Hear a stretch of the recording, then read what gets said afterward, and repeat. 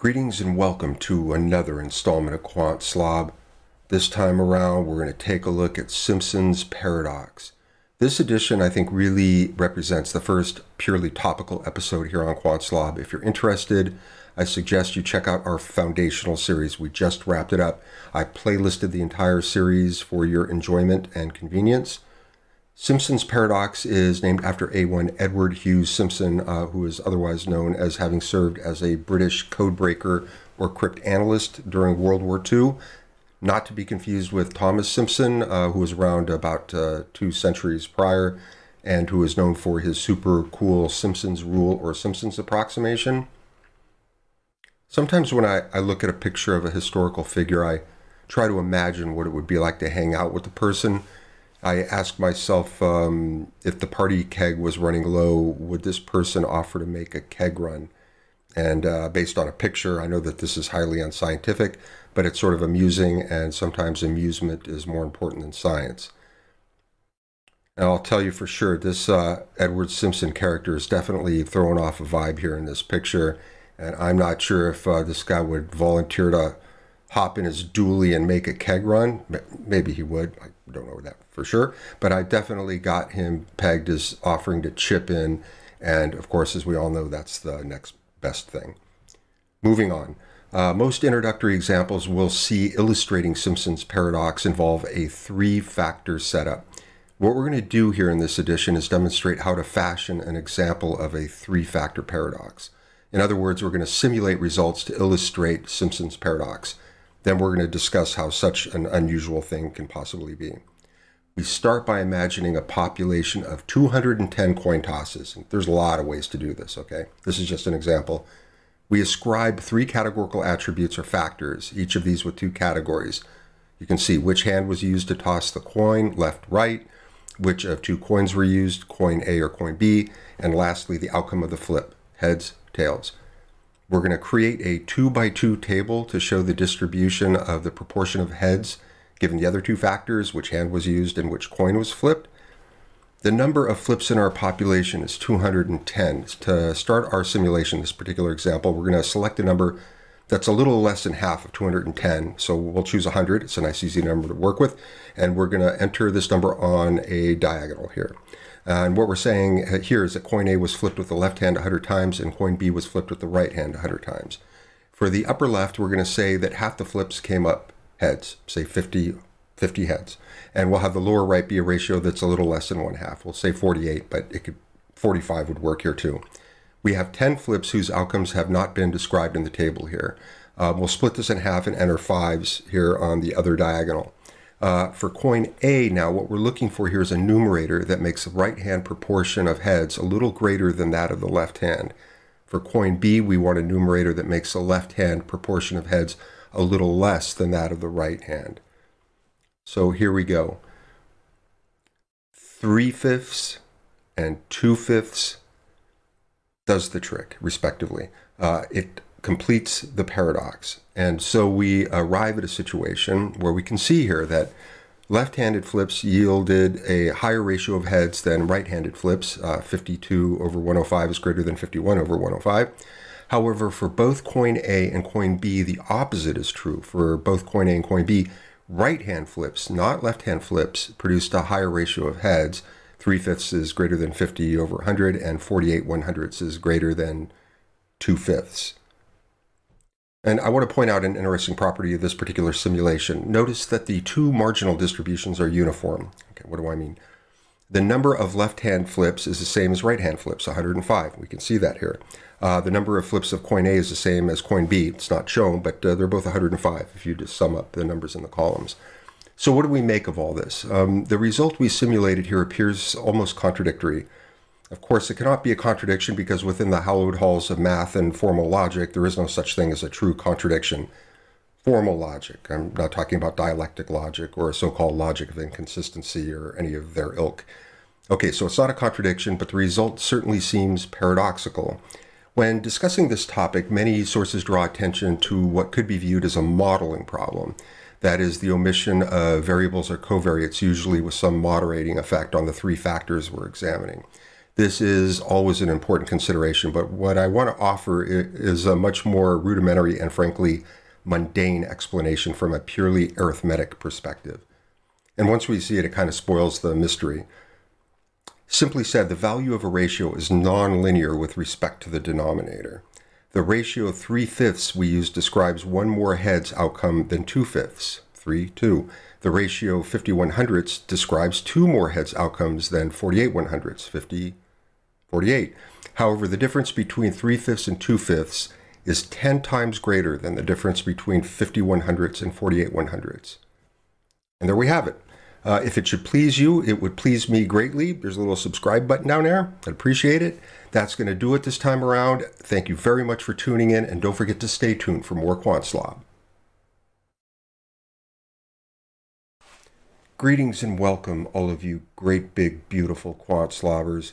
I got to start this edition by asking Is there anything that conveys the sheer grandeur of this channel better than having that big quant slob right there pop out of your screen coming at you like that at the beginning of every edition? I mean, it's look at that. It gives me goosebumps. Uh, I'm sure you can tell I'm feeling it right now. This time around, we're going to kick off our basic application series. We just wrapped up our QuantSlob Foundational series, um, and since there's no better way to know where you're going than to visit where you've been, uh, so a super speedy recap.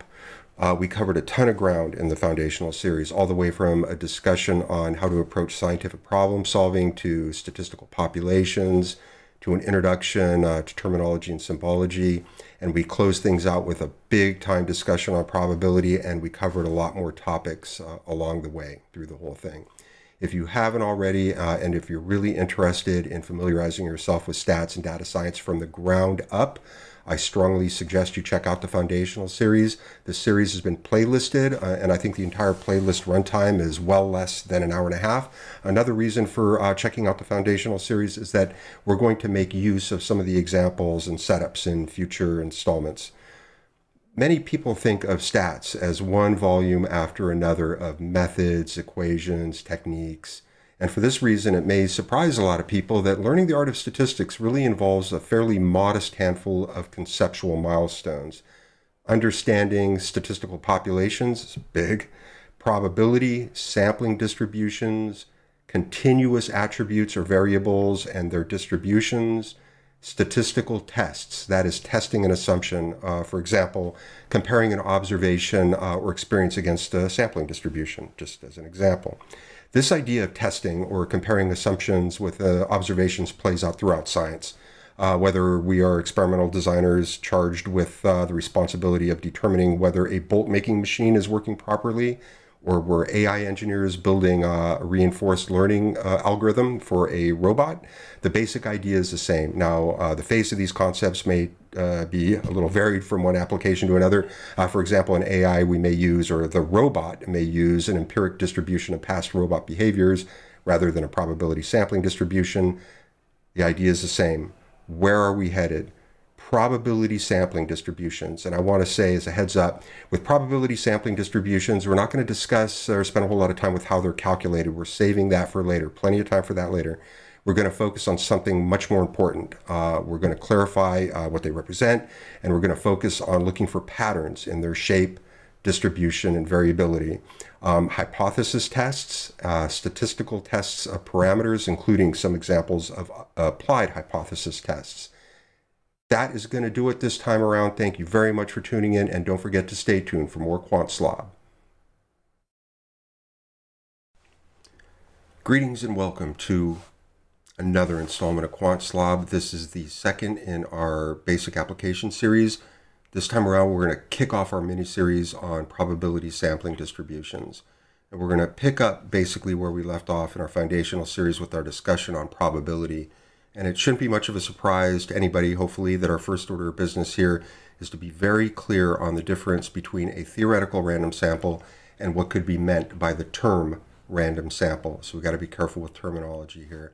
If you recall, a theoretical random sample refers to a purely imaginary activity. A theoretical random sample implicates, so to say, random variables from the fixed attribute values of a population's elements. On the other hand, of course, the term random sample can simply refer to an actual sample. For example, the four of clubs here could be a random sample of size 1 from a standard deck of cards. So let's uh, return to our trusty population of 52 cards. We know our distribution of the suit attribute values in the population. As we did previously, we're going to draw a theoretical random sample of one card. We think of this card as a purely imaginary or theoretical undertaking. We never actually select a card because if we did, there would be no probability associated with that activity because the card we select would simply be the card we select the card, whatever card we select, would occur with certainty. So this is here the probability sampling distribution of our suit value uh, in our theoretical random sample of size 1. Uh, this is sort of where we left off in our foundational series finale, but it's good to revisit. And uh, what comes next involves a bit of a leap. We're going to transform or translate this sampling distribution into something of more direct practical value. We're going to create a sample statistic namely the number of cards suited as clubs in this theoretical random sample of size 1. RV here stands for random variable. Random variable. So what we're showing here is the probability sampling distribution of our sample statistic number of clubs in our theoretical sample of size 1. In other words, the probability that one card in our sample of 1 is clubs is 1 fourth. The probability that none or zero of the one card is clubs is 3 fourths. So we've come this far, we may as well take it all the way. We can easily convert the sample number of clubs into sample proportion of clubs. We accomplish this simply by dividing by the sample size. In this case, the sample size is 1, so this is quite easy to deal with. In addition to the table, by the way, um, here's a nice way to show the distribution of discrete quantities. Notice that this graph is similar to the bar charts uh, we looked at earlier that are commonly used for categories but the bars are much narrower, and uh, here they're given the same color. This uh, makes the appearance of the plot, which shows a distribution of a quantity distinctive from bar charts, which are used to show the distribution of categories within a categorical variable or uh, factor. Uh, if we reflect back and do a little uh, bookkeeping, uh, we realize we've made uh, really good buddies with our friend the proportion here. Earlier in the foundational series, we learned about the proportion as a population parameter for a categorical variable or factor. Then we looked at the symbol, at least, for the proportion of a categorical variable in a sample. And just now, we've introduced a proportion as a random variable. So a sample proportion of cards suited as clubs in a sample of one is pretty easy to deal with. What about sample sizes greater than one? And this is uh, where we're going to pick up in part two of this mini series on sampling distributions. That's it. That's going to do it this time around. Thank you so very much for tuning in. Dearly appreciated. And don't forget to stay tuned for more QuantSlob. Greetings and welcome to another installment of QuantSlob. This is third in our basic application series. This time around, part two in our mini series on probability sampling distributions we're going to pick up with our trusty deck of 52 cards. Let's imagine a theoretical random sample of two cards from our standard deck of playing cards. For this example, we're going to say that the two cards must be unique. Our theoretical random sample cannot contain the same card twice. I want to point out that our foundational series provides us with a very flexible toolkit. We have an alternate but entirely equivalent way of imagining this theoretical random sample of size 2. We simply imagine a population that contains every possible ordered pair of cards. So, for example, this population contains the element Queen of Spades, then the Jack of Diamonds. If you play Pinochle, you might appreciate this element. It also contains, for example, the Ten of Diamonds, uh, then the Ace of Clubs here. It also contains, for example, the Jack of Diamonds, then the Queen of Spades here. Uh, it uh, just so happens uh, that uh, this population contains 2,652 elements. Uh, and by the way, to tie together what we've learned here, uh, this population, the way we're thinking about it, is essentially imaginary. but there's nothing stopping us um, that you know we could create if we wanted to a population this population as a concrete population like if we worked in a card factory and had access to lots of decks of playing cards and a lot of free time i don't know why we would uh, do such a thing but uh, but we certainly could so uh, moving forward Here is our probability sampling distribution of sample proportion of clubs in a theoretical sample of size 2. Notice the vertical line on the plot, which marks a value of one quarter. This is the population proportion of clubs. And I want to restate something that was emphasized in the series kickoff. Right now, we're not concerned with how these sampling distributions are calculated. There's plenty of time for that later. Right now is big money time. We're looking for patterns, the really important things here, particularly how the shape and width of the sampling distribution change as the sample size increases probability sampling distribution of a sample uh, proportion of clubs in a theoretical sample of size three. What about sample sizes four or five? And so we have an animation here. We're increasing our sample size. So what do we see here?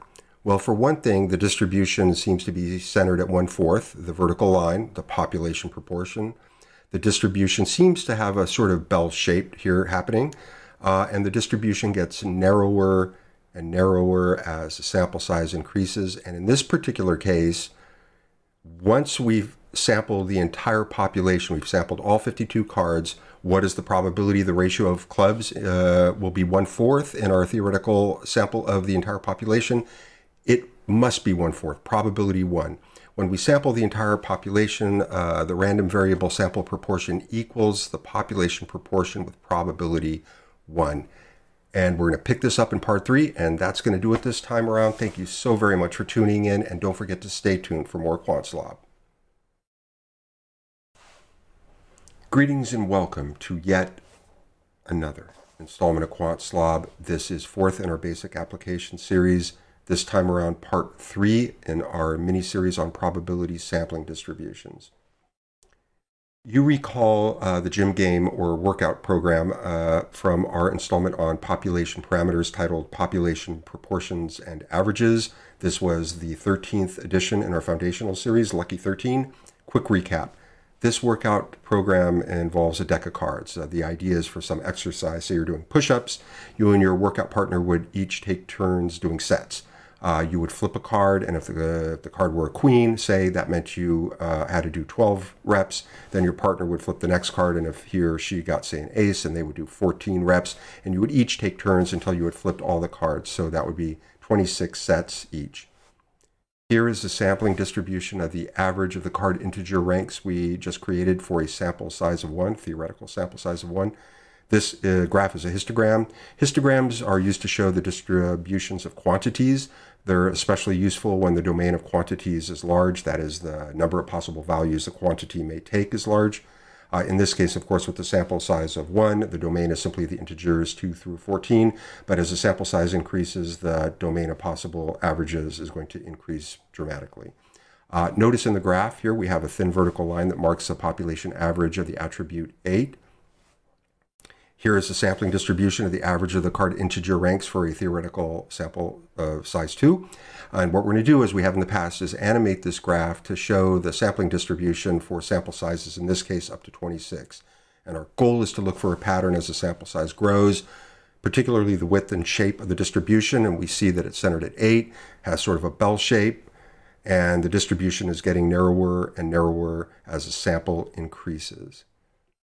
This is uh, jumping way, way ahead here, but um, it, I want to spend a moment on this. Uh, if you were playing this gym game, just hypothetically, and you started with a well shuffled deck of standard playing cards, would you be surprised uh, when you were done uh, if the average number of reps that you did per set, or should have done uh, based on the card's integer rank value, was, say, six or less? Uh, and by the way, just in passing, if you're interested in learning about histograms, because there's a lot to them, the Wikipedia page and also mathisfun.com topic are both very good, I think. For another example, let's consider the infinite imaginary population of every possible toss of a coin. We're going to assert that the population parameter proportion of heads is precisely one half. We're defining it that way. So let's take a look at the sampling distribution of the proportion of heads in a theoretical sample of size 1. Uh, note we're back to using our line plot or line height plot to graphically show the distribution of these quantities here. Here is the sampling distribution of the proportion of heads in a theoretical sample of size 2. And as we have in the past, we're going to take a look at the probability sampling distribution animated for increasing sample sizes. This is going to be playing faster than in the past because we're going to count all the way up to a sample size of 500. What's the pattern? Uh, well, like in uh, previous examples, um, it's centered, or appears to be centered at the population parameter 1 half. It's bell-shaped. It gets narrower as the sample size increases. If you have a very fine eye, a very fine eye, you'll notice that the rate at which the distribution narrows slows. You'll see here that the counter, the sample size counter, is rolling forward at a steady state, but the rate at which the distribution narrows slows, slower and slower. Finally, we get to 500. You can see, uh, in fact, uh, at this point, the rate at which it's narrowing is almost um, very hard to detect as the counter rolls up. To close out this edition, we're going to replay the previous animation, but with one difference. Here, we're dynamically changing the scale of the x-axis. Basically, and you can see this here, uh, we're progressively zooming in on the x-axis as the sample size increases. And this zooming or rescaling of the horizontal plot region we're doing here, and you can see that down there, is being done in a very particular mathematical way. And what do we see? In the previous version, we saw the distribution get narrower as the sample size increased. But here, the general shape appears virtually unchanging. And once again, if you have a very fine eye, you'll notice that the rate at which the abscissa or the horizontal axis is uh, expanding is getting slower and slower as the counter, the sample size counter in the animation increases. And that's going to do it this time around. Thank you very much for tuning in and don't forget to stay tuned for more QuantSlob. Greetings and welcome to another installment of QuantSlob. This is fifth in our basic application series this time around, part four in our mini series on probability sampling distributions. I'm going to do a quick inventory here. Starting with our population comprising the 52 cards in a standard deck of playing cards, we looked at the sampling distribution of the sample statistic here, our proportion of cards suited as clubs in our theoretical sample. Um, as a reminder, we specified that the theoretical samples had to contain unique cards, no duplicates in the sample, uh, in our examination, we learned that uh, at the limit, when we sampled the entire population, all 52 cards, the sampling distribution collapsed. So to say, uh, the probability that one fourth of our sample is suited as clubs is one. No other proportions are possible here. And uh, just as an FYI, uh, probability distributions where one value, be it a quantity or a category, occur with probability one are sometimes called degenerate degenerate, like your little nephew that keeps putting the remote control in the fish tank. Again, with our standard deck of playing cards, we constructed an attribute, integer rank value of card. And we ran our animation up to a sample size of 26, and we saw uh, this as the resulting sampling distribution of the average integer rank. Uh, we didn't show it in the previous edition, but had we sampled all the cards, our sampling distribution would be degenerate at 8, the population average, and I'm hoping that this is not a surprise to anyone at this point.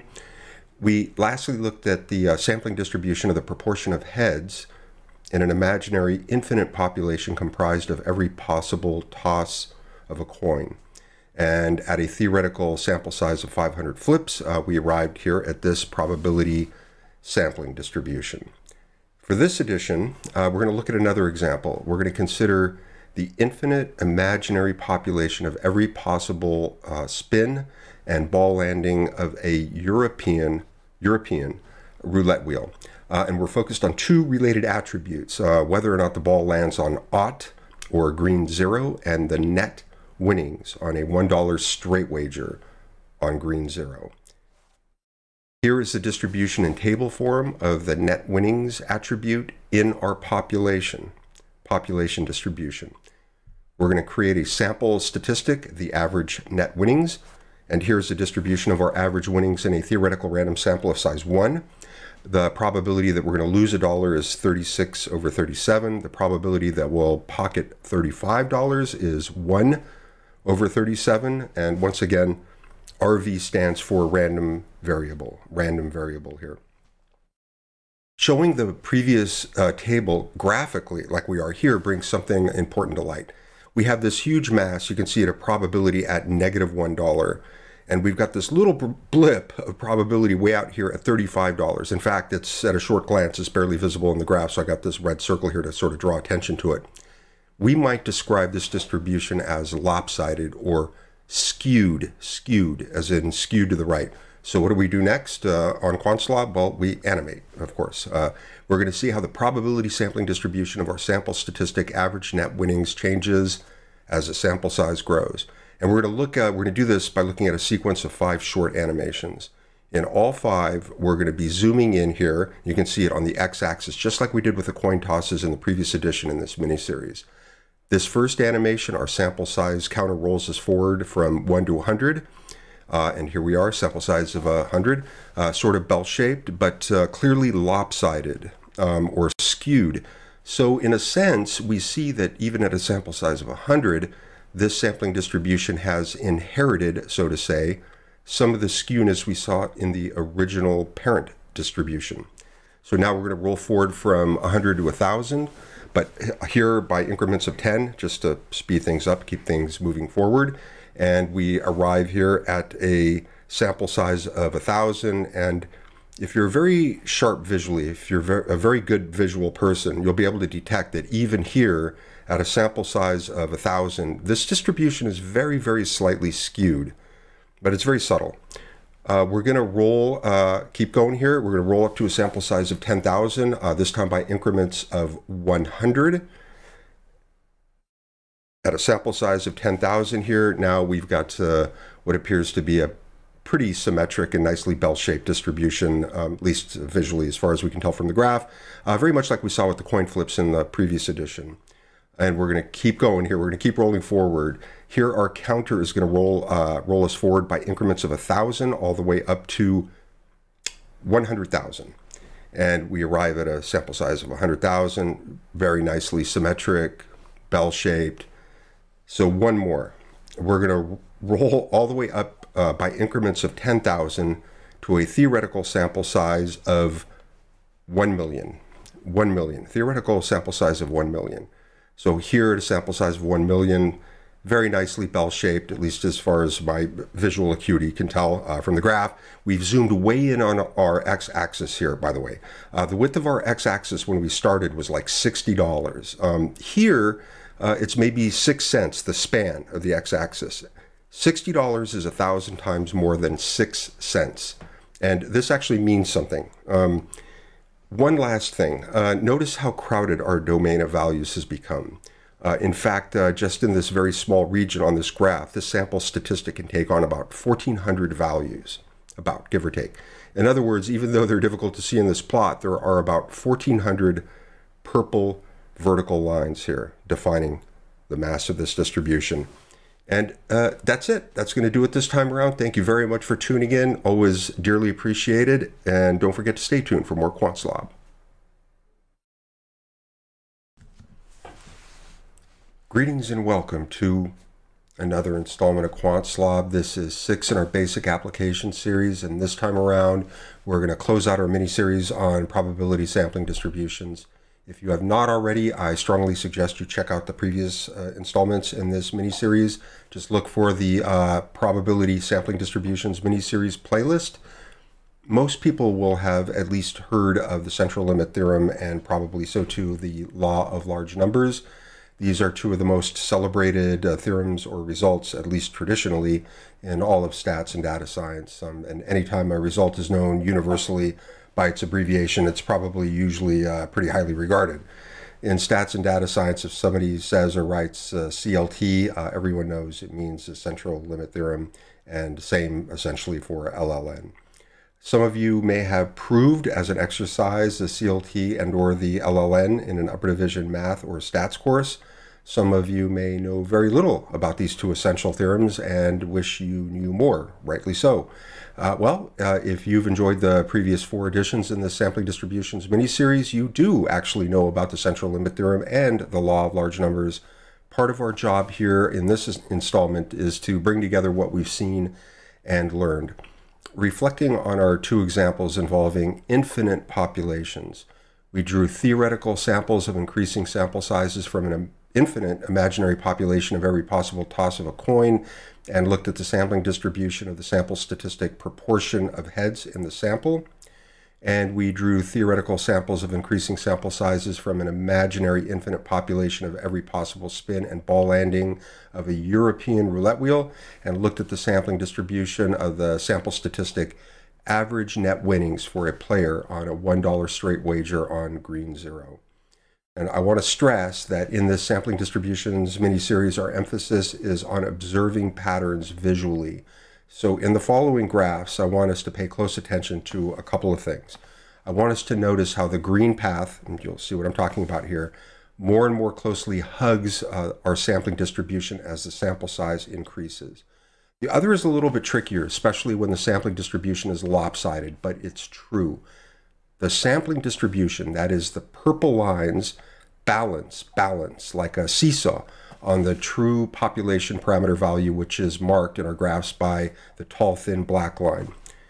Uh, coin tosses, revisiting that. We looked at that in part three of this mini series. Here's the sampling distribution of a theoretical sample of one element, and you can see I've added the green path here. Sample size of 10, and again, the green path sort of follows the tops of the purple lines. Sample size of 100. Notice that the green path here seems to follow uh, the distribution, the tops of the purple lines, uh, quite nicely. And uh, sample size of 500, which is sort of where we just left off. Uh, the green path hugs our sampling distribution very nicely. And here, all of these sampling distributions are symmetric here with the coin toss. So it's not difficult uh, for us to believe that the sampling distributions all balance, balance on the thin black line here that marks the population proportion. Uh, we also considered uh, the imaginary population of every possible spin and ball landing of a European roulette wheel the probability sampling distribution of our sample statistic average net winnings for a theoretical random sample of size 1 is lopsided or skewed as in skewed to the right.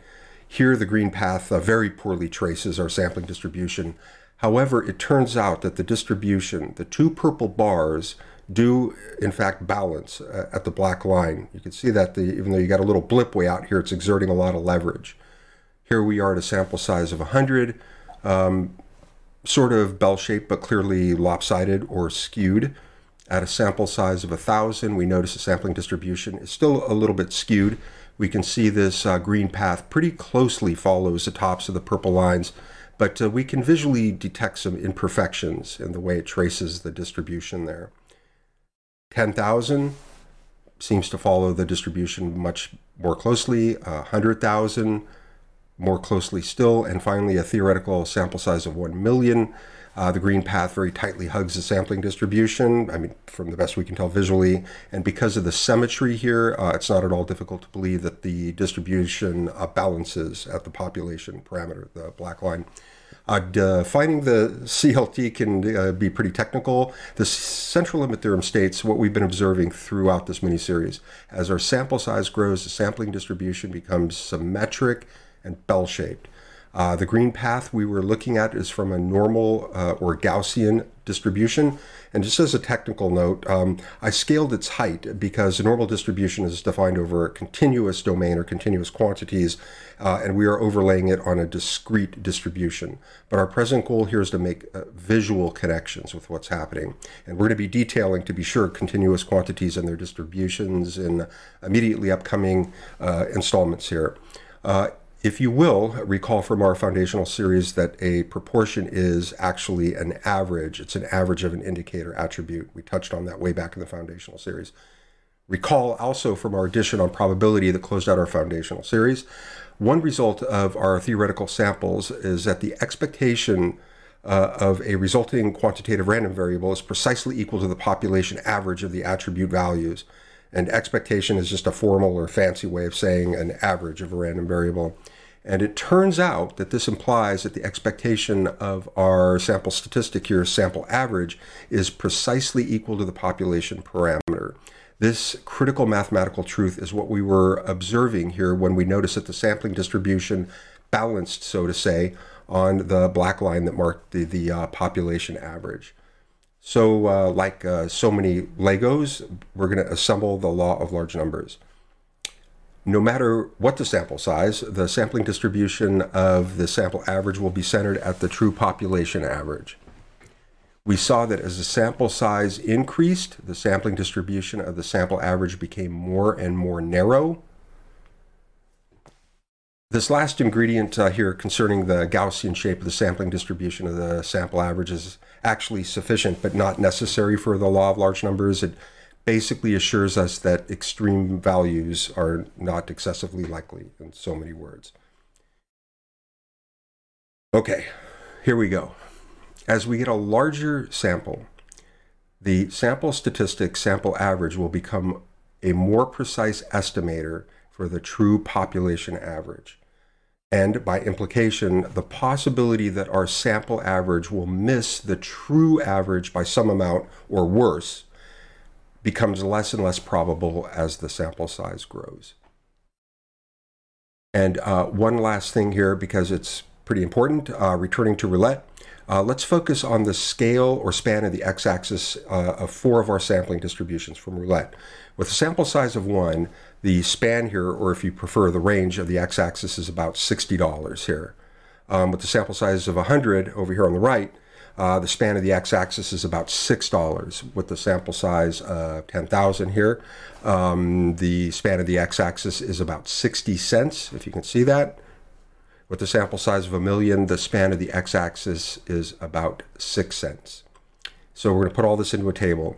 With a sample size of 100, the span of the x-axis is 10 times more narrow than the span of the x-axis for a sample size of 1. With a sample size of 10,000, the span is 100 times more narrow. Uh, with a sample size of a million, the span is 1,000 times more narrow. And so we see the pattern. It's shown here in the right column on the far right. The narrowness of our sampling distribution is related to the square root of the sample size. And this is no accident, and it's just not particular to roulette. It's not a coincidence that is going to do it this time around. Thank you very much for tuning in, and don't forget to stay tuned for more QuantSlob. Greetings and welcome to another installment of QuantSlob.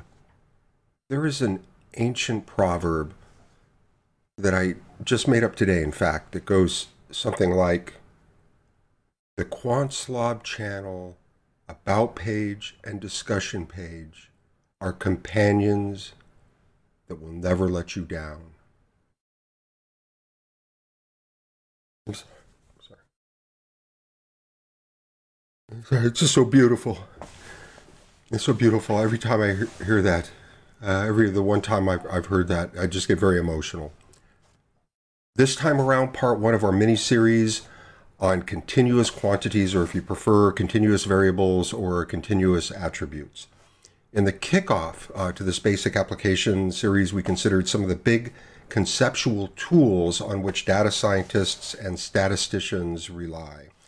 In our earlier foundational series, among many other things we covered, we explored statistical populations, and just recently here in this basic application series in our sampling distributions mini-series we just concluded, we looked at some examples of probability sampling distributions and unveiled some really important and key patterns. The term continuous distribution is one of those terms that means exactly what it says. Uh, the trick or the challenge is to try and figure out uh, what it is saying. No analogy is perfect, of course, but I think I have something that works pretty well here for this edition. Imagine that we have six marbles uh, that are distributed distributed among, say, four cups here. We have uh, two marbles in cup A, one in cup B, uh, none in C, and three in cup D. Um, I think that this is easy to look at. It's easy to think about. Um, for example, if someone asked uh, what proportion of marbles are in cup A or cup B, uh, that is, marbles in cup A and cup B combined, uh, not at all a problem. Very easy to, to deal with. Uh, suppose now instead of marbles, we have water distributed among these four cups. As long as we can measure how much water is in each cup, this distribution too is uh, easy to work with. Uh, in the same spirit, if someone were to ask us, like with the marbles, uh, what proportion of water is in cup uh, A or cup B, not at all a problem. Easy, easy to deal with, easy to look at, easy to work with. Uh, suppose now uh, that in the process of putting the cups away, one of the cups gets spilled. So the question here is how do we describe the distribution of water here on the table surface? Clearly more challenging. And if someone were to ask us what proportion of water is residing on our side of the table, uh, you sort of get the idea. Certainly tractable, but you can see it's much different than having the water marbles in cups. So we're going to connect the dots here on uh, this analogy or these analogies. Recall that if a population is finite, any attributes domain must be finite. The distribution of marbles in cups is analogous to an attributes distribution in a finite population. The cups are like the attributes domain values, and the marbles are like the elements within the population whose attributes value take on the particular domain values defined by the cups. In the example uh, that we looked at, A, B, C, D. Uh, the distribution of water in cups is analogous to the distribution of an attribute with a finite do- domain over an infinite population. Again, the cups are like the attribute domain values, uh, and the water is like the elements within the population whose attribute value takes on the particular domain values defined by the cups, just like with the marbles, A, B, C, D. The distribution of water on a tabletop is analogous to a continuous attributes distribution in an infinite population. Here, the continuum of the tabletop represents the attribute domain values and the water is like uh, the elements within the population whose attribute takes on the particular domain values defined by their location on the table's surface. Make sure to check out part two of this mini-series. We're going to pick things up uh, in part two of this mini-series. That is going to do it this time around. Thank you very much for tuning in, and don't forget to stay tuned for more Quantslob. Greetings and welcome to another installment of Quantslob. This is eight in our basic application series. This time around, part two in our mini series on continuous quantities. As we saw in part one that we just concluded, continuous distributions arise when the domain of values for a quantitative variable or attribute is continuous, like a tabletop. In most settings, a continuous quantity will have an infinite domain. Now, We've already encountered infinity here on Quantslob, going all the way back to the foundational series. We considered imaginary populations with an infinite number of elements, and we survived that okay, I think. However, to fully harness the power of continuous distributions, we not only re encounter infinity, but we need to manage it. Fortunately, the good news is that the theory of managing infinity in this way has already been taken care of for us. To enrich our understanding of what all this means. For this edition, we are going to embark on a veritable Homeric odyssey of some properties of numbers. Slight exaggeration. We're going to start with the uh, set of integers. The set of all integers is typically represented by capital Z here. Uh, usually, notationally, uh, we use Blackboard bold typeface. It's not mandatory, but it's very typical. The Z comes from the German word Zahlen, which is plural for Zahl, which means number, or probably a better translation is numeral. This is, I think, a pretty easy set to think about. It's basically all the whole numbers along with all the negative whole numbers, or if you like fancy math talk, the set of integers is the union, meaning to bring everything together, of all the whole numbers and their additive inverses, so called. Negative 3 is simply the additive inverse of 3. Now, the set of rational numbers here is typically represented by capital Q, again, usually in Blackboard Bold typeface. Uh, the Q comes from quoziente, meaning quotient, so named by the Italian mathematician Giuseppe Peano. This was maybe about a century ago, a little bit over. The set of rational numbers is made up of all the numbers that can be expressed as a ratio of integers We exclude, however, division by zero. So the b here, the denominator cannot be zero. To give us one perspective on infinity using the rational numbers, we're going to consider a property known as denseness. Imagine that someone is allowed to pick any two unequal rational numbers. Our job will be to find another rational number that sits between the two numbers. So just for an example, say someone chooses one fourth and one half. Both are rational numbers, they're different, unequal. Uh, so we'll choose, say, two fifths. Two fifths is greater than one fourth and less than a half. One more. Uh, someone chooses 1 over a 1,000 and 2 over a 1,000. Again, they're both unique rational numbers. And so we'll choose, say, 3 over 2,000. And you can see where we're headed here. The set of rational numbers possesses this fascinating property that for any two different members, we can always find another member that sits between them, meaning that it's greater than one of them and less than the other. Uh, notice, uh, by the way, that uh, the set of integers does not possess this quality. So, for example, if uh, someone chooses the elements, say, 1 and 2, there is no integer that resides between them that is greater than 1 and less than 2. So the set of integers is not dense.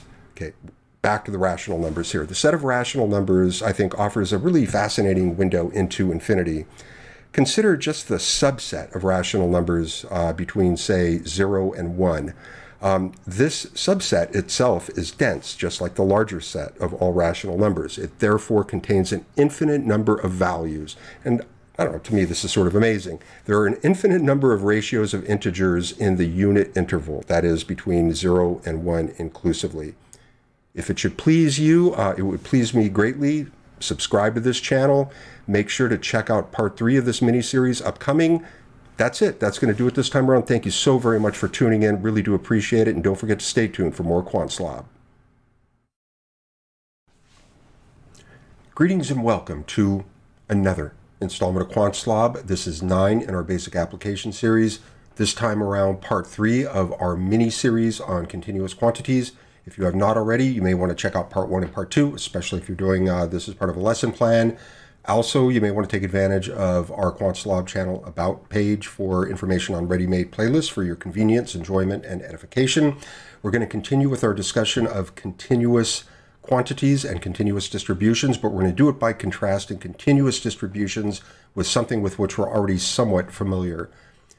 So let's return to a, a familiar discrete distribution, the distribution of card rank in a population of 52 cards uh, comprising a standard deck of playing cards. Recall that we created here in the middle column uh, integer rank, an integer rank attribute. If you haven't seen our foundational series and you're seeing this for the first time, all we've done here is we've converted the card's uh, rank label value to an integer value. Uh, the idea is to simply convert the rank label to uh, quantity. Here is a distribution shown as a plot or a line plot. Um, and to be very clear, what we're doing here is we're simply describing the distribution of the integer value uh, rank in our population of 52 cards. There's no probabilities here. As we learned back in our foundational series in our probability edition, a theoretical random sample of a single element, a card in this case, from a population implicates a random variable from the attribute. The probability distribution is identical to the attributes distribution and the population. Now, this is admittedly a conceptual formality, but it's really important and it will save us a lot of grief down the road. So here we go. Uh, what we're looking at here is a so-called probability mass function, PMF for short, or actually more accurately, what we're looking at is a graphical representation of a probability mass function. If we don't like looking at the plot, after all, I can't just assume people enjoy my line plots as much as I do, we can express this as a table um, just like the one we looked at a moment ago, except here uh, you can see that we have assigned on the far right column uh, each value of the domain to a probability as opposed to a proportion. So let's, uh, just as an exercise, make use of this uh, probability mass function. Let's call our integer rank uh, value random variable x. Uh, so what, for example, is the probability that x equals 10? The idea, of course, is that the PMF here uh, maps a value of the discrete random variable directly to its probability, explicitly to its probability. um, and this may be getting a little ahead of ourselves, but just as another example, we can use our probability mass function to calculate the probability of a region of multiple values. So, for example, what's the probability that x will be uh, greater than or equal to 10? Uh, this is a, a, region of values, and we can easily get to our answer simply by summing up all the probabilities associated with the values, 5 over 13. Okay, getting closer to continuous distributions now. I'm thinking of a particular continuous variable and I want to convey this visually like we did with our discrete variable. Uh, and as we know well now, with uh, a variable with a discrete finite domain, we can often visually show the relationship uh, of domain values uh, to the respective probabilities with a table. However, a continuous variable has an infinite domain. This makes using a table to enumerate the domain essentially impossible, so tables out, at least as far as enumerating values explicitly. We also used a line plot, of course, which we just saw, uh, or a line height plot for variables with discrete finite domain. Uh, but if we try this with a continuous variable, we run into a handful of issues. Uh, first, we can't really plot an infinite number of purple lines here. The other issue is that if we think of our x-axis here, the abscissa, as being ordered, that is numbers uh, to the right are greater than the ones to the left, uh, if our domain is dense, and it is, uh, no matter what x1 and x2 are, uh, there are still an infinite number of domain values between them. So a line plot is out of the question. And so what do we do here? We're going to pick this up in part four. Uh, you're going to want to make sure to check that out, uh, part four of our continuous quantities mini series. And that's it. That's going to do it this time around. Thank you so very much for tuning in. Dearly appreciated as always. And don't forget to stay tuned for more QuantSlob. Greetings and welcome to, you know, the program, another installment of QuantSlob. This is 10 in our basic application series. This time around, part four of our mini series on continuous quantities. If you have not uh, yet already, I would suggest you check out the first three videos in this mini series. You can also check out the channel About page for information about ready made playlists. In our action packed previous edition, we left off the question of how to visually convey the relationship between a continuous random variable and the probabilities associated with its domain. Uh, because a domain of values a continuous quantity may take is infinite, it should be fairly intuitive that enumerating values using either a table or line plot, uh, as we've done in the past with uh, variables or quantities with a discrete and finite domain, simply doesn't make sense here. If, uh, if you will, allow me to introduce you to the so-called probability density function, or PDF for short. We're going to take a look at a couple examples here, but we're going to start with the uniform distribution. If x is a uniformly distributed random variable, then we can show its PDF thusly.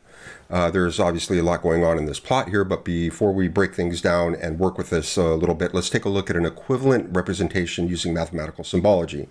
Uh, you will recall uh, way back when in our foundational series during our discussion on math terminology and symbols, I mentioned that using symbols can make expressing things more compact and concise. Uh, here we go. This is quite an example of, of that. We're expressing the same function we were just looking at graphically uh, using symbols. Um, what we're saying here is that the density function returns a value of 1 if the random variable is between 0 and 1 inclusively, Otherwise, it returns a value of zero. So let's go back to the graph here. Uh, how do we use this plot or this graph to find probabilities associated with the values of our random variable? The key, the key to this is that unlike with discrete quantities, we do not actually map domain values to probabilities. Rather, we map regions or ranges of values of our random variable to probability. The probability is the area or volume of the function cropped at the region or range of values of our random variable. So for example, uh, the probability that x is, say, greater than 1 half uh, is uh, equal to the area of the shaded region here that we have on the plot. Uh, I deliberately chose to start with the uniform distribution to make things easy to deal with because calculating this area is pretty straightforward. The shaded region is a rectangle with a height of 1, you can see that, and a width of 1 half. The area of this rectangle is therefore 1 half, and hence uh, the probability that a uh, random variable uniformly distributed over the unit interval is greater than one half is one half. One more, uh, just for practice. Uh, what's the probability our random variable will be between 0.4 and 0.6, or 2 fifths and 3 fifths, if you like ratios? So here, uh, in the similar spirit, we have a region that's a rectangle. Uh, this rectangle has a height of 1, just like in the previous example. Uh, this rectangle has a width of 1 fifth, so its area is 1 fifth. The probability our random variable is between 0.4 and 0.6 is therefore 1 fifth. Not too bad. Uh, so I think you know where we're headed here. The Gaussian or normal distribution. And what we're looking at here is a plot, path plot, of a standard normal probability density function. And I should point out that the term standard normal has historically had a couple different interpretations, uh, but nowadays the term standard normal refers to this distribution here.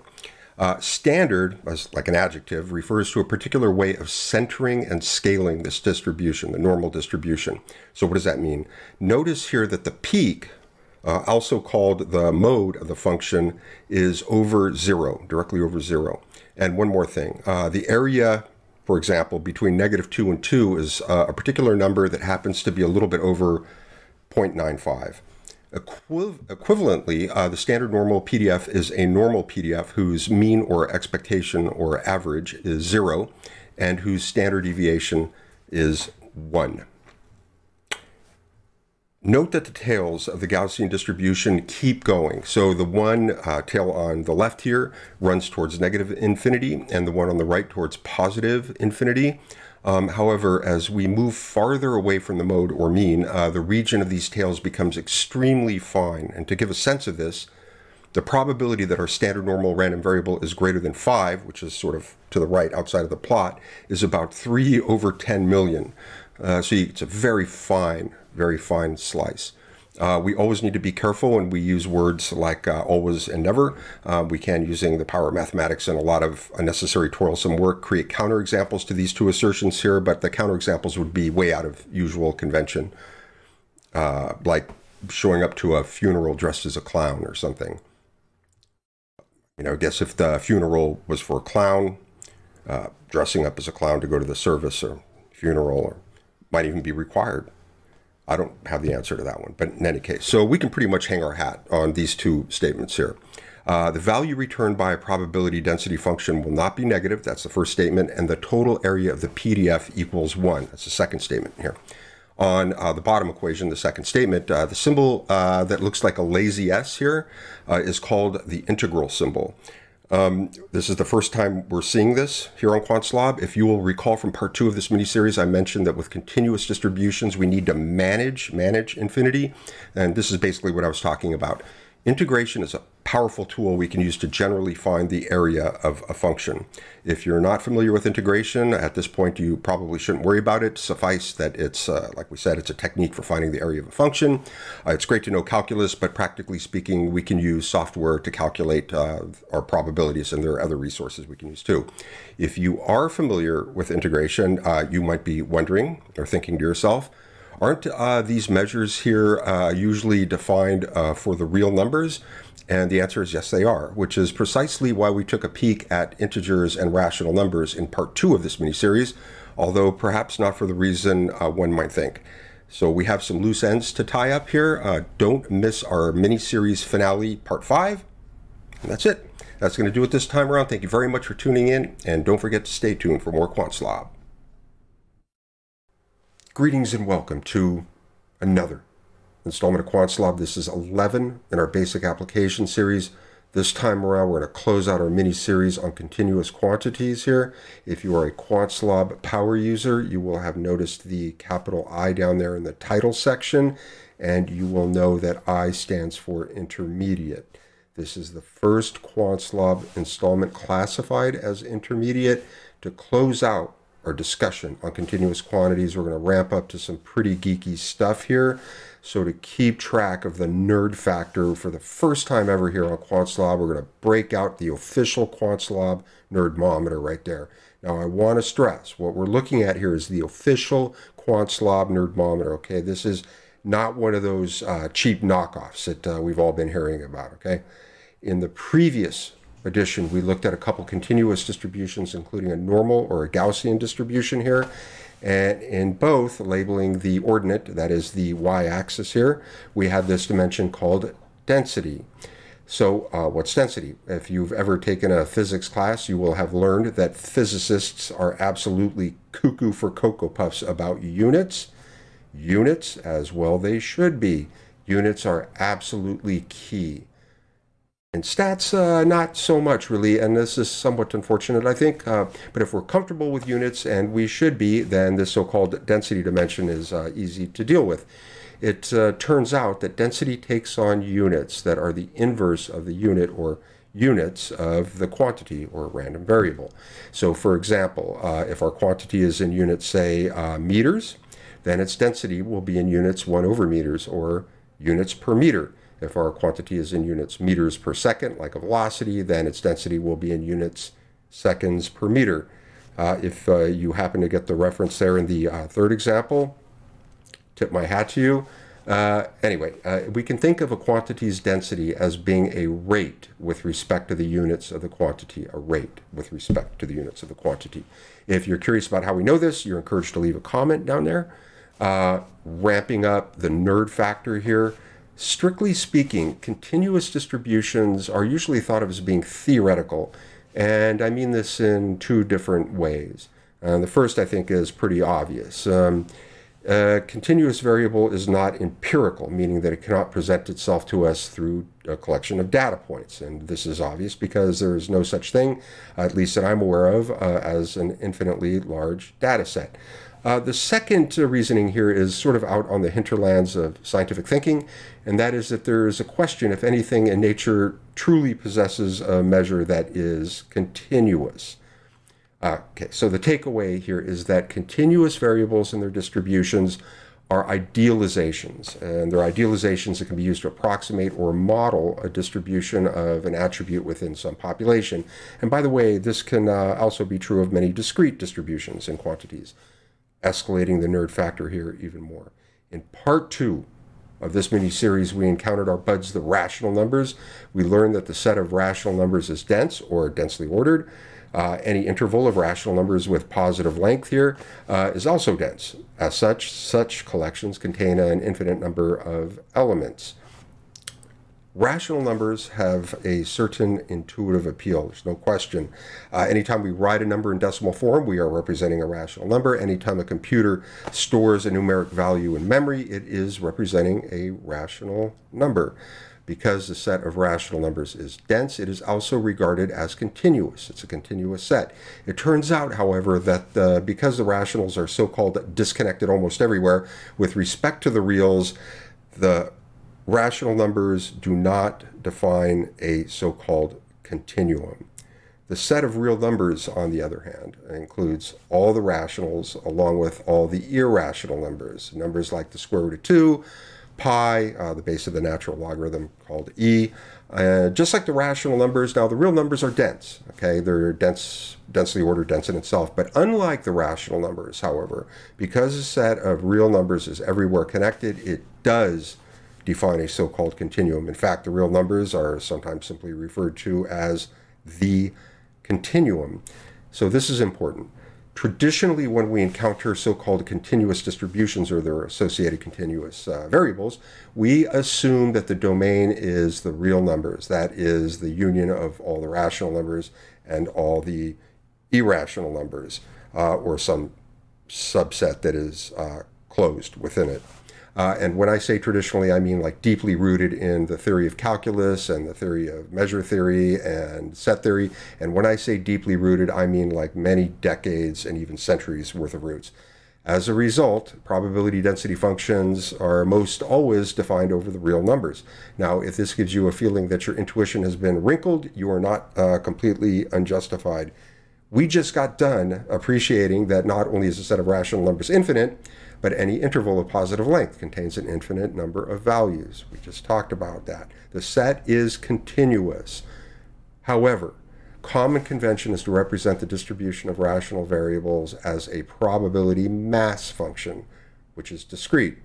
Uh, so, for this reason, and also considering that the domain of integers is infinite, an implication of this is that there may be occasions where it may be very challenging to graphically represent a quantities distribution in a satisfactory way. Okay, so that's not a huge surprise, I don't think. The other consideration, I think, is much more nuanced here. Since the rationals are a continuous set, uh, we might naturally be tempted to express a distribution that's uh, over the rationals as a probability density function. However, uh, like we just said, the usual machinery of calculus, uh, that is finding the area of a distribution by integration, doesn't uh, play out very nicely for us. So I'm going to suggest that there are two cases where we may want or need to have a domain defined over only the rational numbers. So uh, the first is that we may want to define an attribute that uh, quite simply is a ratio of integers. So I'll give you an example. Like, uh, for example, suppose that uh, our population is all the regular season completed NBA games over the last 10 seasons. We may want to create an attribute that is a ratio, say, of visitor total points divided by home team total points. Not at all problem. The other uh, simply is maybe we just don't like irrational numbers. Maybe in childhood we had a bad experience.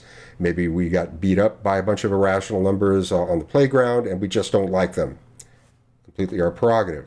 Uh, in the first case, uh, to say this as simply as possible, it turns out that the mass function uh, may not possess the smoothness we would like to see or expect in a density function. In the second case, we have two options. Uh, the first and best option is to simply forgive the irrational numbers and model our attribute domain as a continuum of the real numbers. Otherwise, uh, really constructing measures over countable spaces is really not an issue. It's pretty trivial. Oh, I lost track of the official QuantSlob nerdmometer. I think it's going to blow. Ah, ah, run for your lives. Ah uh, we're all goners, uh, the end of humanity. Uh, uh, uh. I'm just messing with y'all. If you made it through our continuous quantities mini series, you are a true Slob Nation master. Nice job. And that's it. That's going to do it this time around. Thank you very much for tuning in, and don't forget to stay tuned for more QuantSlob.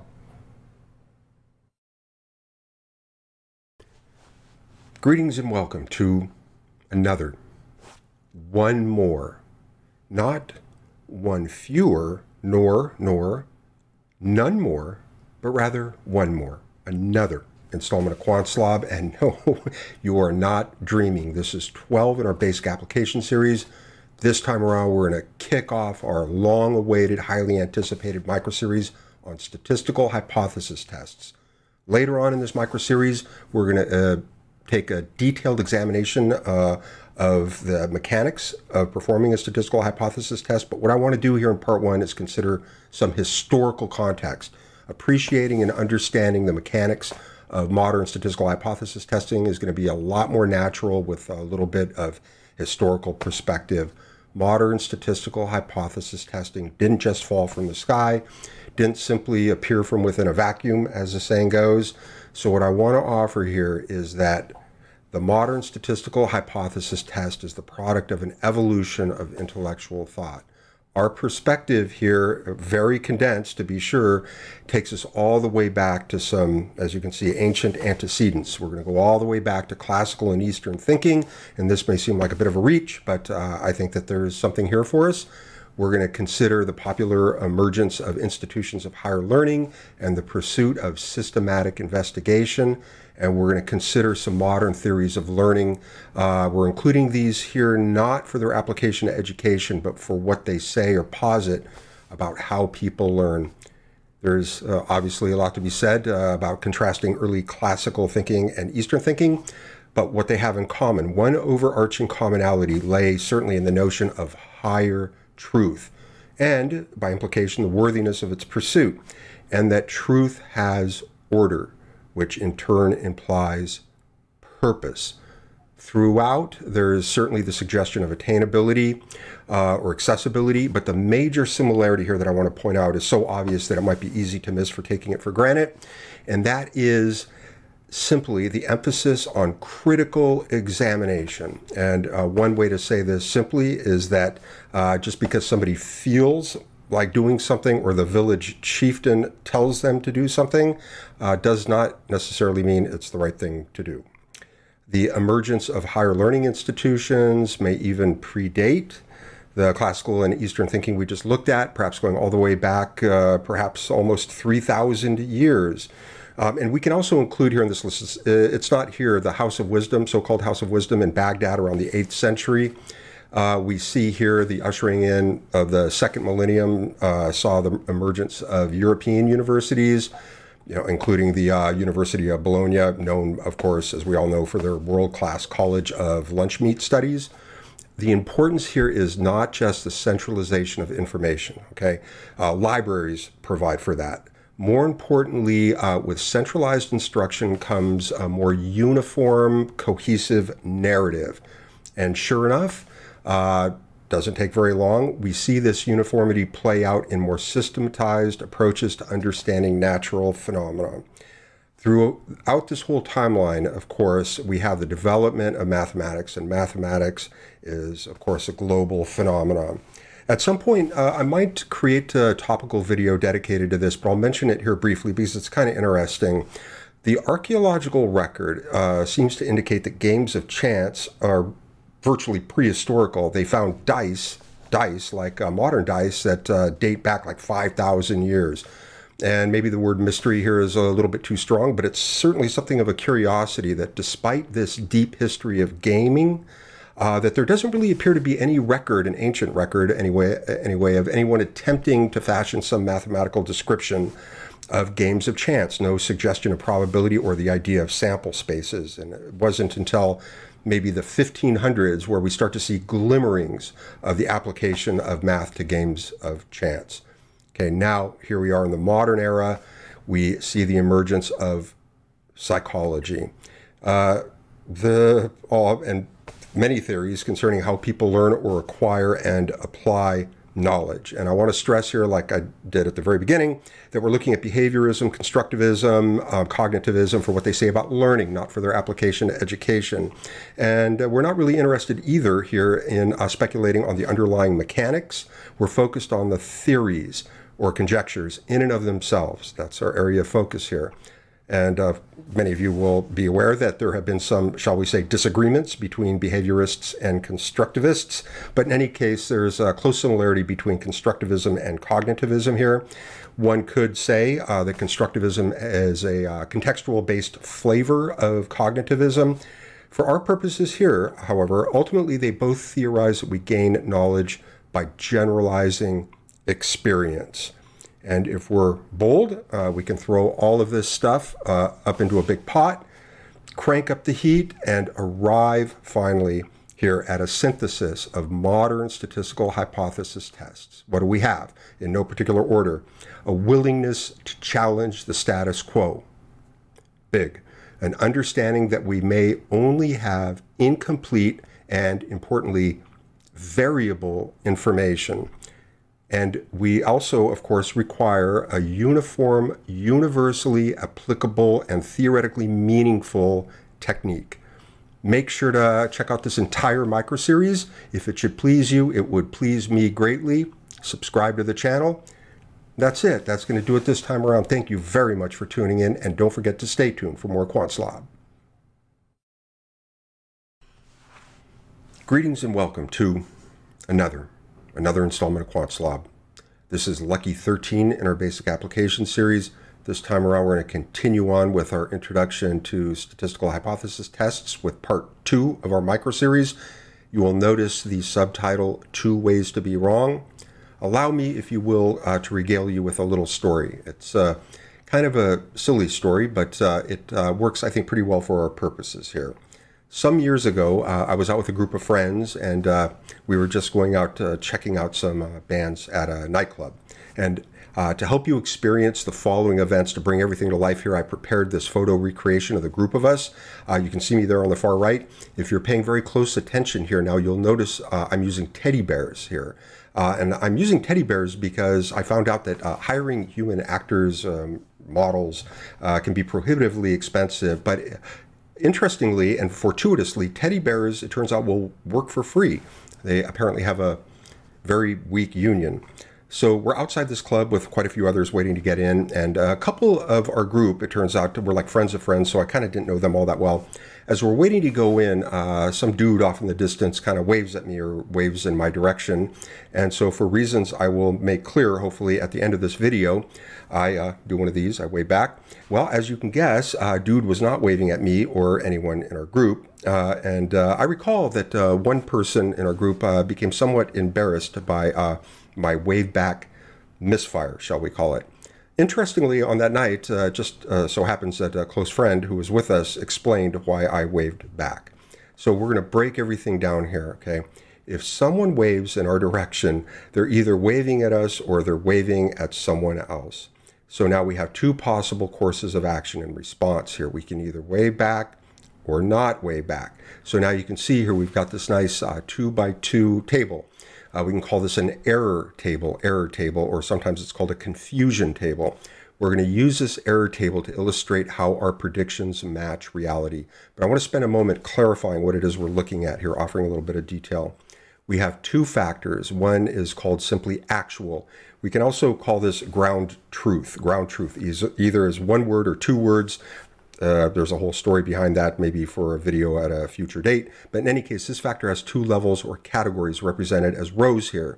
This factor defines underlying truth. The other factor is our prediction here. This factor also has two levels or categories. These are represented as columns here. This factor defines our prediction. So let's examine our space of possibilities. We have four possibilities here. If we wave back to someone uh, who is waving at us, that would be a good match. Our prediction matched reality. If we ignore someone who is waving at somebody else, that too is a good match. Uh, however, if we uh, wave at someone who is not waving at us, then that would be an error. Uh, if we don't wave back because uh, we have predicted we are not being waved at when in fact we are, this too uh, would be an error. Now, I don't want to get all negative here, but uh, we need to focus on the two errors we have here in the table. In particular, we want to differentiate these two types of errors. Differentiating or categorizing these two types of errors that will appear in a confusion table is actually a really important part of the thinking behind statistical hypothesis testing. It's also important in many other scientific settings, so it's worth taking a look at here. There is a very well-defined taxonomy for categorizing these two types of errors, or these two errors. Classifying the two errors can sometimes be subjective, as we're going to see. We're going to look at the most direct way to classify these. We're going to look at the actual factor. We can think of each of these two statements or categories as being conjectures about reality. Whichever of these two we consider the default or the status quo or as being passive or requiring no response, we will call, in the language of statistical hypothesis testing, the null hypothesis here, the null hypothesis. We're going to look at uh, many examples of null hypotheses later in our basic application series and beyond. But just as we said, uh, there can be subjectivity or at least context dependency in identifying the null hypothesis in this way. So, for example, for a famous celebrity, when someone waves in their direction, uh, they may uh, likely be waving at them. They probably are.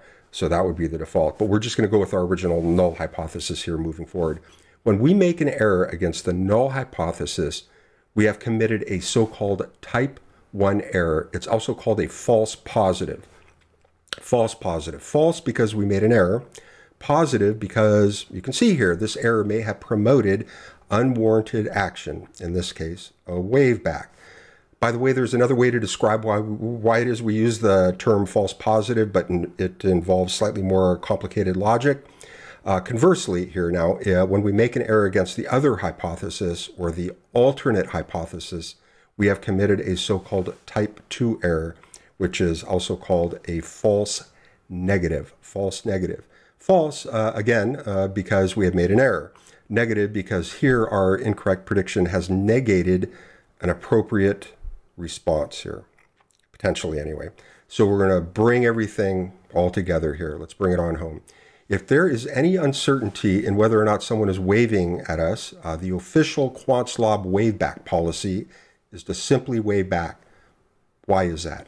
So to understand what we're going to do here is we want to consider the consequence or cost associated with these two distinct errors. If we erroneously wave back, uh, then here, uh, potentially socially awkward to some degree. Uh, however, if we don't wave back to someone who is in fact waving at us, then we will be potentially snubbing a friend or someone who is trying to be friendly.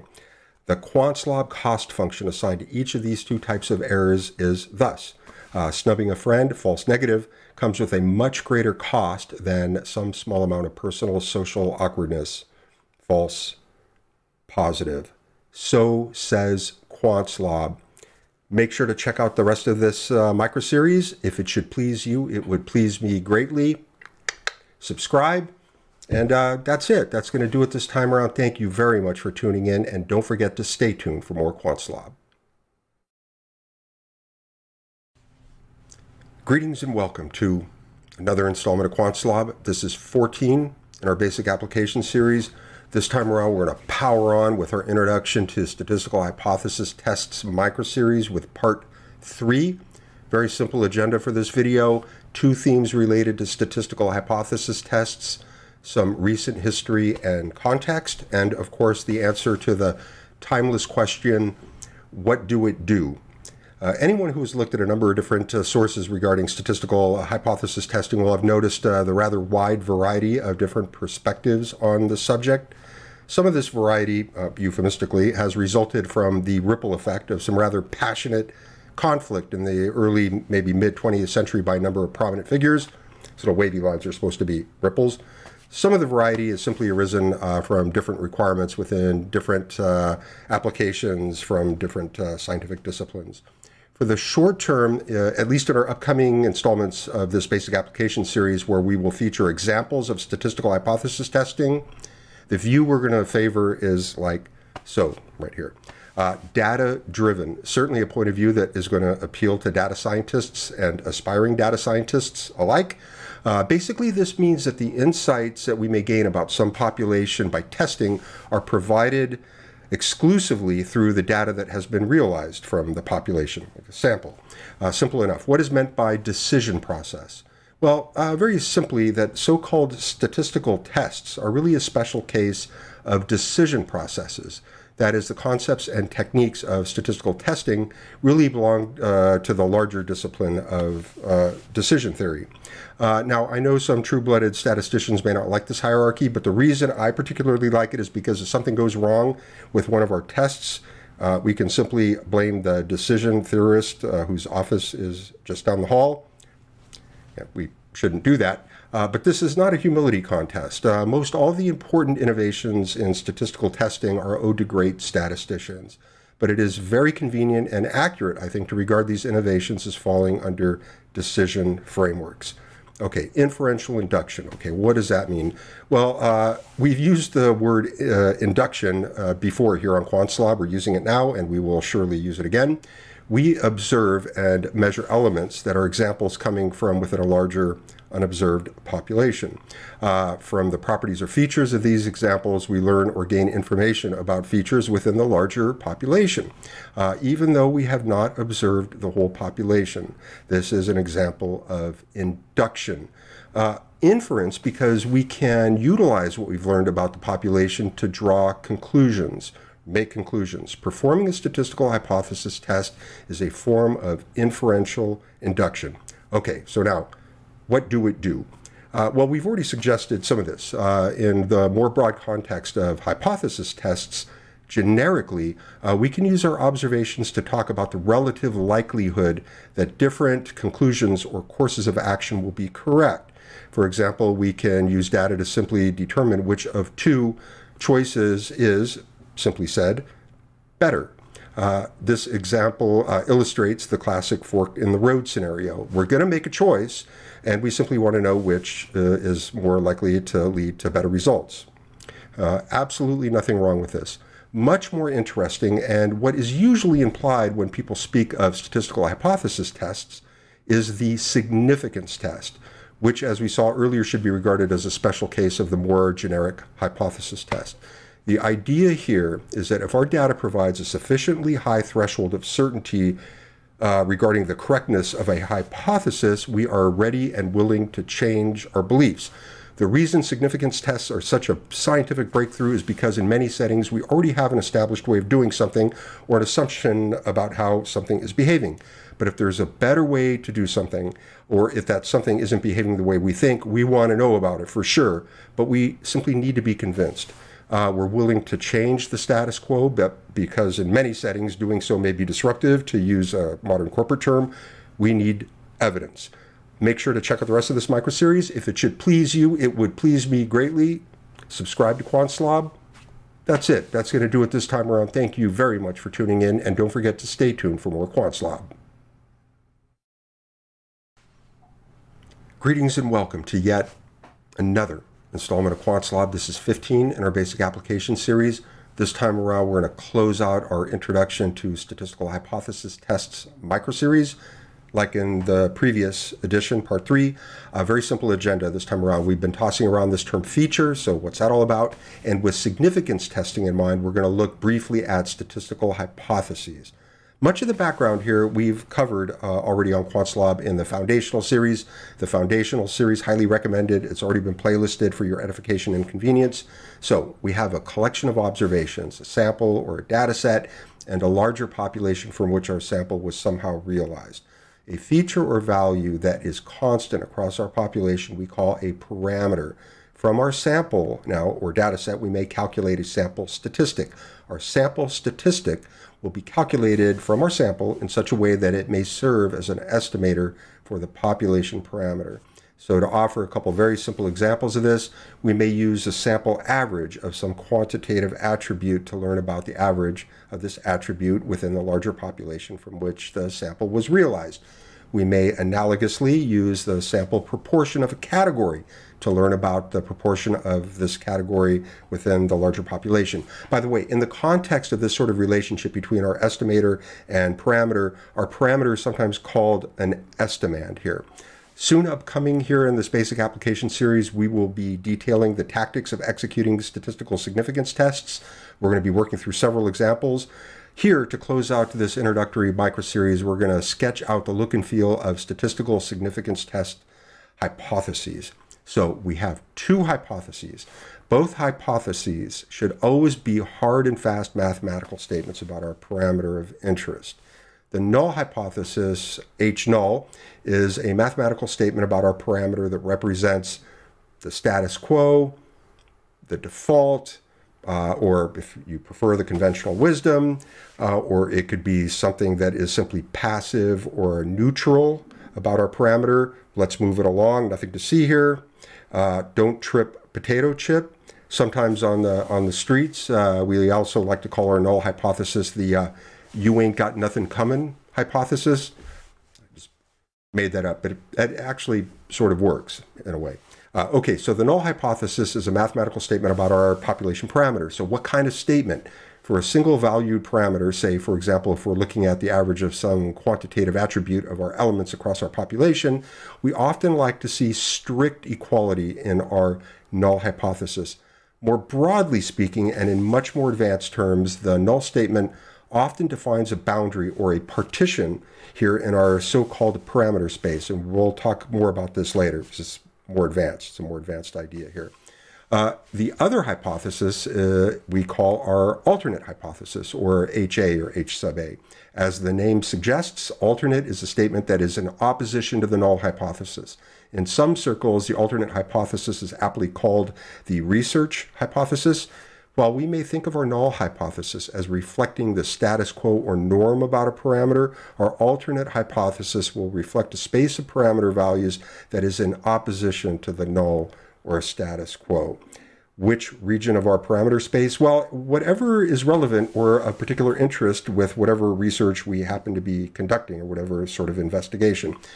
For example, uh, suppose we're studying the population of living, breathing narwhals, and we're interested in learning about the proportion that are psychedelic and code Haskell. Well, I think we'd all be rather astonished if the proportion of narwhals that are psychedelic and can write any sort of computer code, let alone Haskell, were any number other than exactly zero. Uh, by the way, we really don't need a statistical test here because if we observe just uh, one living, breathing, psychedelic uh, Haskell coding narwhal, we can reject the null hypothesis with perfect certainty. Uh, the null in this particular case uh, is, uh, so they say, empirically falsifiable. So that should keep all, all of our fun loving positivist friends happy. And if you do find a living, breathing psychedelic narwhal that codes Haskell, you, my friend, are definitely getting published. And you can just list uh, as a co-author. I got no problem with that. Immediately, uh, immediately upcoming in our basic application series, we're going to look at sampling and revisit distributions, and we're going to resume with a number of installments dedicated to working through statistical hypothesis tests. And this time around, that's going to do it. Thank you very much for tuning in. Don't forget to stay tuned for more QuantSlob. Repeat.